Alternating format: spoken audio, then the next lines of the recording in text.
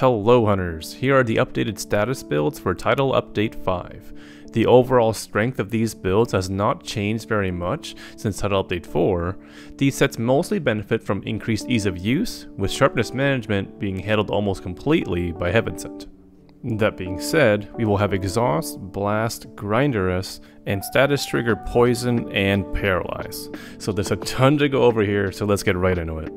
These sets make use of the new very powerful talismans, as well as heavy use of the new attack boost for and critical eye for decorations available at Anomaly rank 241. So these are very much builds that you would progress towards from Title Update 4. So if you are behind, I have previous Title Update sets on my channel that may be a little bit easier to make. Especially considering that Anomaly rank points have been accelerated considerably in Title Update 5 you get 4 times as many points up to anomaly rank 200, and 3 times as many points between 200 and 220. The talisman I will have that is used for all builds will be an attack boost 3 talisman with 3 level 2 slots. I was able to obtain this relatively easily using a new cyclist melding option targeting attack boost. Of course, talismans can be pretty incredible right now, but I wanted to use one that is easier to obtain in the build templates. So do use your own and adjust if you have a really good talisman. Build up boost is still not available as a decoration, so these sets will suggest to augment in 3 levels of build up boost. I have found with the ridiculous amount of essences awarded at the current anomaly tier, I did not have too much trouble getting build up boost in with the skills plus augment. You will see that these builds have a lot of room for skills, so augmenting something out for build-up boost is not really a big deal. You can also get build-up boost off of your charms, but I personally have not gotten a single one with build-up boost yet. Okay, so let's talk about what's new for these builds. First, Heaven Sent. These builds will make use of Heaven Sent, a new skill on the Amatsu armor set. At level 1, Heaven Sent activates after being close to a monster for 30 seconds. When active, swapping scrolls recovers 50 points of sharpness. In addition, damage is reduced by 50% when you get hit next. Heaven Sent is deactivated when you take damage and are knocked over, or if you get too far away from the monster. At level 2, Heaven Sent will activate after 15 seconds instead of 30, significantly reducing the time to activate it. At level 3, Heaven Sent will also award infinite sharpness and stamina. In addition, swapping scrolls will also remove and reduce status ailments. From my own playtesting, I found this works pretty well with status switch axes, since most have a decent amount of sharpness before dropping a level. 15 seconds is not a long time, and as soon as you obtain Heaven Sent, you can perform a scroll swap to max out your sharpness again, effectively no longer needing a whetstone and just sharpening by swapping scrolls.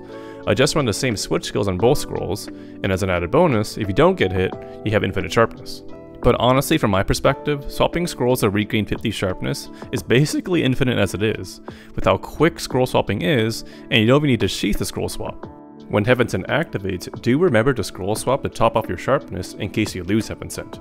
On Switch Axe, we have the Wire Step and the Burst Counter as defensive options to not get hit, but also, Intrepid Heart will also add another layer of protection for maintaining Heaven Sent. In addition, when we do get hit, Heaven Sent reduces that damage by 50%. So combined with Intrepid Heart level 2, which reduces damage by 90%, we kind of have two significant damage shields that regenerate over time. And with infinite stamina, the build has the opportunity to make use of maximum might, awarding 30% affinity at level 3 when stamina is full. I did not find too much issue with maintaining Heaven Sent, but if you do feel like it's not worth it, you can just swap the maximum might for critical eye. These builds will also make use of Frenzied Bloodlust and Bloodlust. When overcoming the Frenzy, Frenzied Bloodlust will award an additional Wire Bug, allowing you to have up to 4. Though it is worth noting that if you sheath, this Wire Bug is almost immediately lost. This is largely a nice to have and doesn't really change things a ton on Switch Axe. The reason it is in the build is simply because the Shagaru Waist is very good and Bloodlust is a very powerful skill on its own. Overcoming the Frenzy awards 20 affinity, but also triggers Coalescence, which will increase Raw as well as status applied. If you are not a fan of Bloodlust because of the health strain, I also have versions without it. A thing to remember is that swapping scrolls at level 3 of Heaven Sent will reduce the Bloodlust gauge. This is something that could happen when fighting any of the Magalas, but also remember that swapping to recover any statuses will also activate a Coalescence. Before we get into the first build, a shout out to the GamerCat set builder website. They have build screenshots which save me a lot of time for these build showcases, and I've happily donated for their awesome work.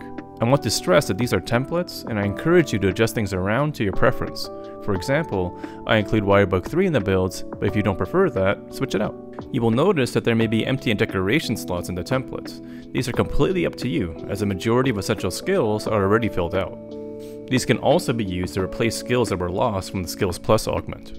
In addition, the builds make use of maximum might, due to the infinite stamina given from Heaven Sent level 3. But if you feel like your uptime for Heaven Sent isn't all that great, feel free to just switch it to Critical Eye instead. Each build strives for 100% affinity. 20% is given from overcoming the frenzy from Bloodlust. Each point of maximum might gives 10% affinity, and for poison builds, 3 points of foray gives 20% affinity. Mail Foulfire is also a powerful skill without a decoration.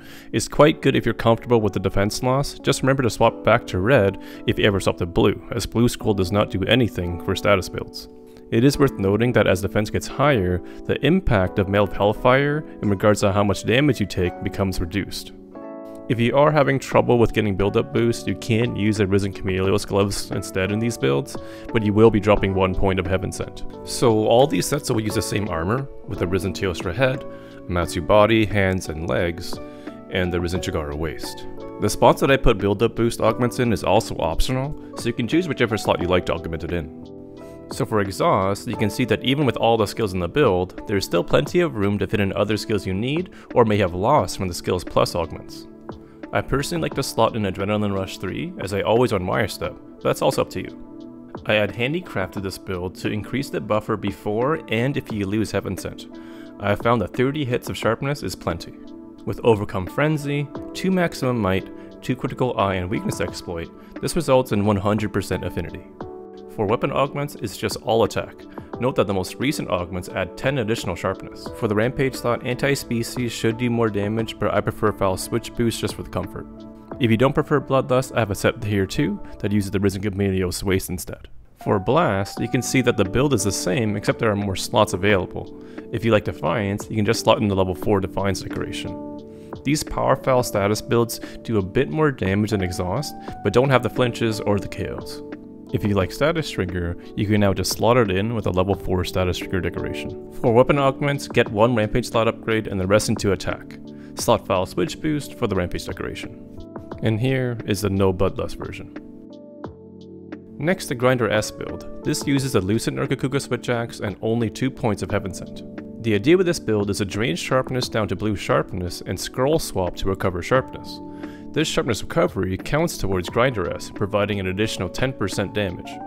I found that I am able to keep Grinder S up all the time with this build, but it does require more aggressive play to do so. Here's the standard build, as well as the non-Bloodlust build. This build does not deal a lot of status damage, but with Grinder S active, it does deal the highest possible raw damage.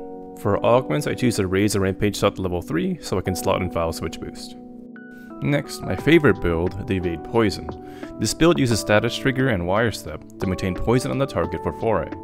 Poison length is doubled with Chameleos Blessing, and the very high amount of poison on the Thanatos Serpent Switch Axe makes it pretty reasonable to keep the monster poisoned for the entire hunt. Evade focused builds are particularly good with Heaven Sent as the whole point is to not get hit for evade bonuses, but now it also helps maintain Heaven Sent for maximum might and maintaining infinite sharpness.